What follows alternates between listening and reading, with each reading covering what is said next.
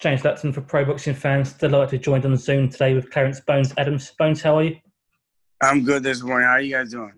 Very good, thank you. Thanks for joining us. Um, how's lockdown been for yourself? How's what? How's lockdown, Lockdown. for yourself? You know what? It wasn't it wasn't bad here. We was locked down for for like you know a couple months, and I just started opening up again for a few fighters who um you know I always clean up, I had everything disinfected. So it's a little bit slow, and I'm enjoying it right now. Not not too many people here. Absolutely. The gym's uh, very close to your home. Um, Yes. Not so far for you to walk down the back of your garden. Um, yes. A little bit about this. When you first opened the gym, it was originally to be rented out to fighters for the camps. What changed? Well, no. What what happened is, is yeah, when we bought this um since uh 2003 or so, we had fighters, you know, um, and it was always staying busy because they had a lot of fights here. And then when the crash came, it was in 2007, eight, whatever. Um, fights when when this fight started coming back up, they started coming up other places. So not too many people come here to camp, you know. Um, so less people came, and one thing led to another. So I'm in the house now, and then years go by. Then uh, three years ago, uh, April 1st, I became a professional boxing trainer. So since I was doing that, I was training fighters myself. It's pretty much open to anyone, but you still can get that private time if you want to rent the gym. Absolutely. Now, as a coach, you first started out learning from Ismael Salas and Joel Casamayor. What did you learn from those guys? The a wealth of experience there with those two. Well, um, not really Joel Casamayor. Um, him and I were on the same level.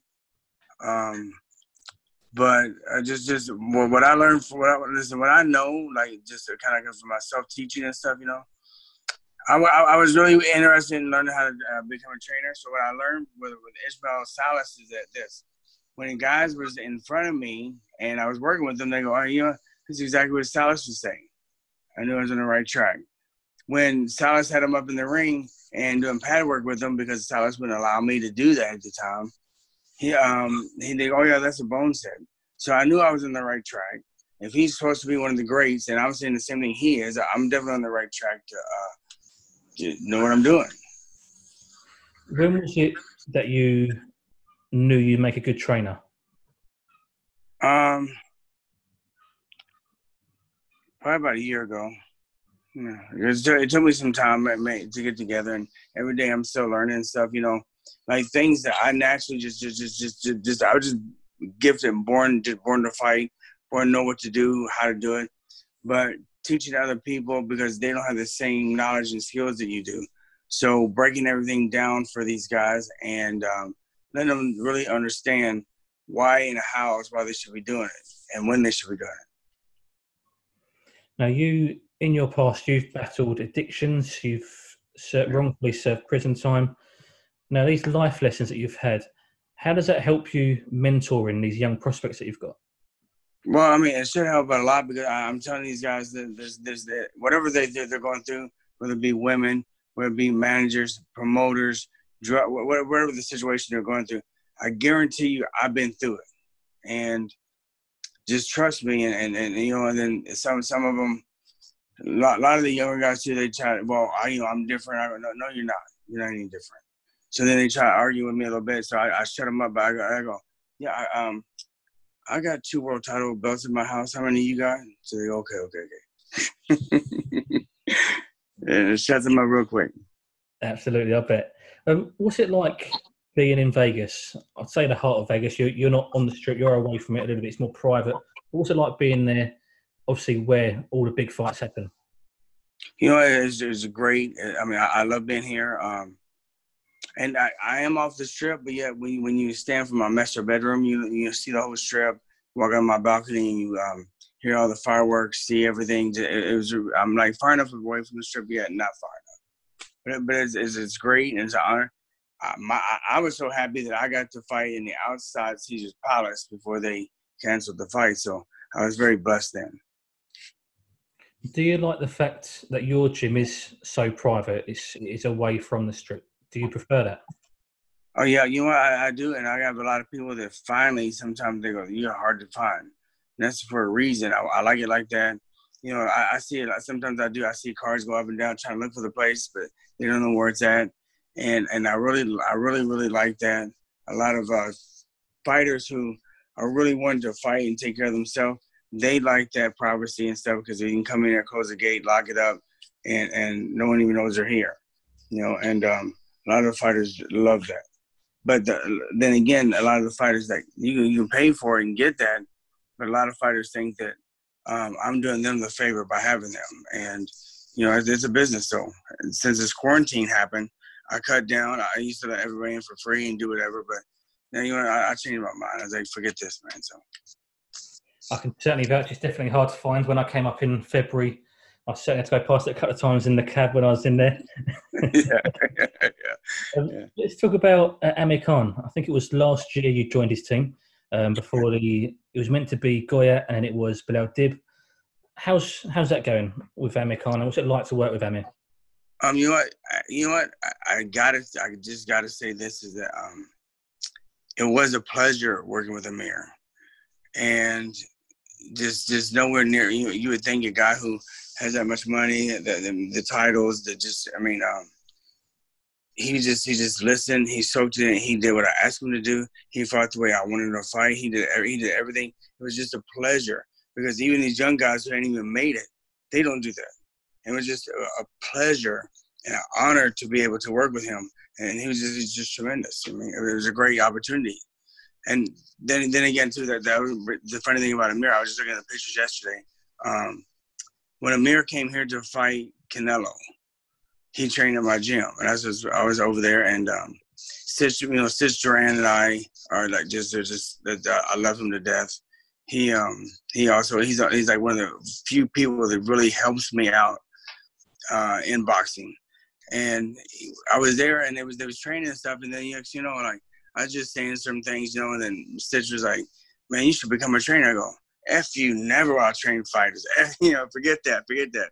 And then here I found myself a couple years later asked to train Amir. I was like, it was, so it was, it was a great honor. Well, I know there's no fights in the pipeline. Amir's recently said, depending on how long this lockdown goes, he's not sure how long he's got left in the sport himself. From his coach and trainer's perspective, what is next for Amir? Where should he be going, in your opinion? Well, honestly, no, no lie, because I'm kind of stuck, stuck here. Um, he's more mobile, but I, I know he likes to be in England right now with his family and stuff.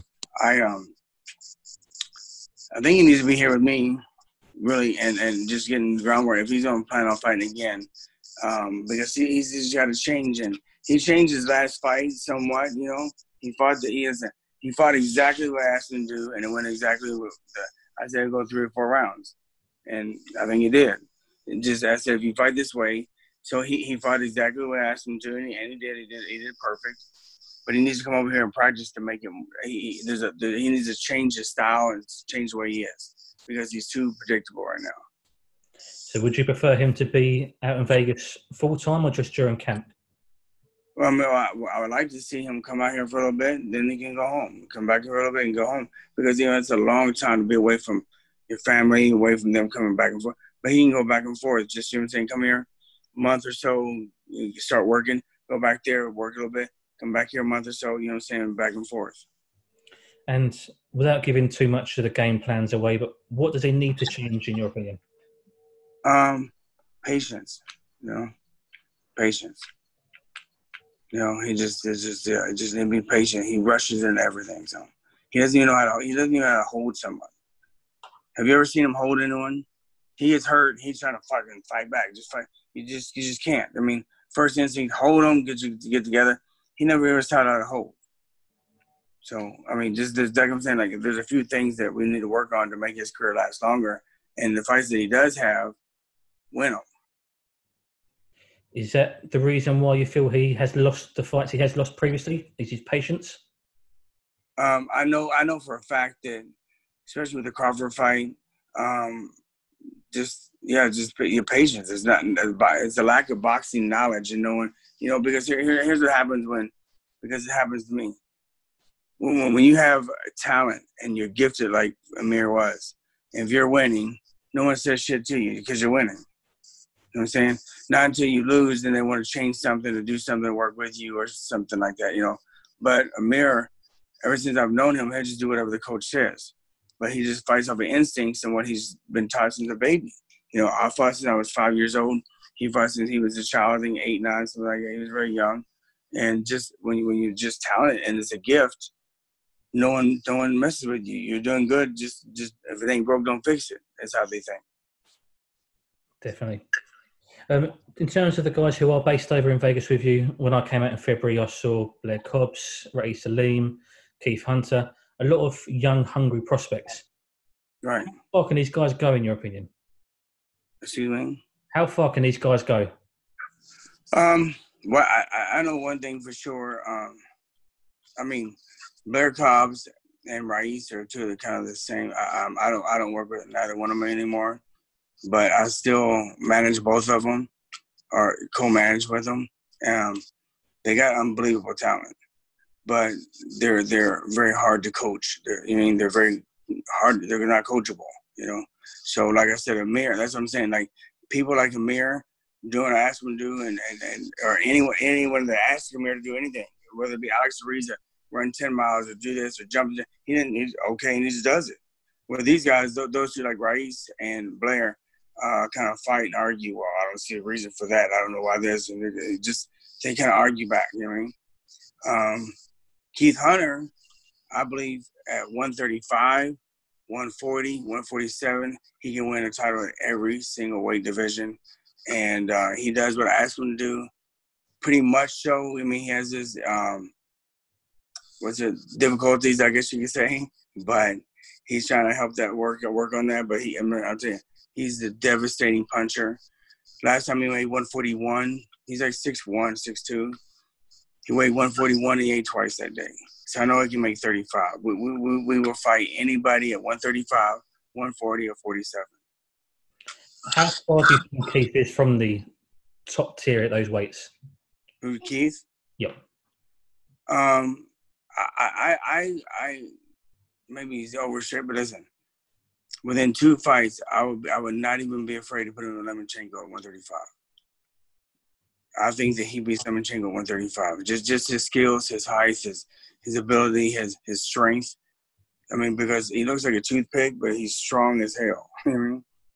it's a big, big, big, bold statement. I like it. Yeah. Um, it's true. I just his ability is kind of like a Deontay Wilder, but smart. You know what I'm saying? You know, just he's just so strong. He looks like a stick, but he's strong as hell and can punch it. The only difference is Keith has boxing knowledge, and I'm helping to give it to him, and, and he's putting it together. Absolutely. Um, I saw on your Instagram recently this week pictures of Daniel Vargas. Um, yeah. The way there. Um, over here in England, he has been not called out as such, but Conor Benn said he would be an ideal fight for him. He'd like to fight Samuel Vargas. What are your thoughts on that? Is there has there been any talks at all for Vargas? Who, who fights Samuel Vargas? Uh, Conor Benn. Oh no. Um. Mm. Sorry. Sorry about that. I no, there's no big talk. It's, it's we're, we're, trying, we're trying to get by past this next guy first. Vergil Ortiz. Vergil is the next superstar. And we got Sam, who is an older gentleman, um, who I think is, I'm telling you, is a live underdog. The live underdog. I'm telling you, like, this guy, phenomenal. We're working on a game plan, and um, he's listening to me. He's putting it together. And as long as it just keeps coming, he, he feels good. He, he, looks good. Everything just comes together um, perfectly, like it has been. Man, we, we're gonna pull a huge upset, and then we'll talk about other things. How how tough will the Ortiz fight be for him? As you mentioned, he's a very good prospect. We all know that. Just how tough is it, or is Samuel potentially too experienced for him at this point? Um, well, I, ho- I hope that Samuel's too experienced for him. And plus what we're putting together right now um, we'll just outsmart him because there's no way that we're going to be outstrength him. He's a young strong big uh, welterweight. And there's no there's no way in hell we're going to be able to go in there and muscle him around. So we, we got a game plan we're working on it i think that if we do it properly and everything goes as, as, as well as we hope we will beat him you know um and then next thing you know, we'll, we'll fight anybody at 147 because if he's supposed to be the next great thing, we're ready for a world title. Absolutely. Um, are there any other dates in the pipeline for any of the other fighters at all? Um, I got uh, Diego Magdaleno. Um, I think he's fighting August 22nd, but then you know, then again, they got a give or take with it with that as well. So I mean, give or take a few weeks. Absolutely. And very finally, Bones, uh, Top Rank obviously have returned in America on the big stage. We've seen that over the last few weeks. Have you heard about any other promoters coming into or coming back into boxing in the near future? Um, no, but we're, we're talking about me and my friend um, Robert um, Gonzalez. We are trying to put stuff together right now as we speak. We're, we're trying to get to, together a promotional team and stuff and get things going and get these fighters get these fighters busy. Fantastic. Hopefully, you see that come along very soon. Bones, thank, you very much. thank you very much for joining me today. I appreciate it. I know it's early over there. Thank you. Thank you. I, I say good morning, but it's good night over there. So good night. I appreciate you guys. Thank you for everything. No worries at all.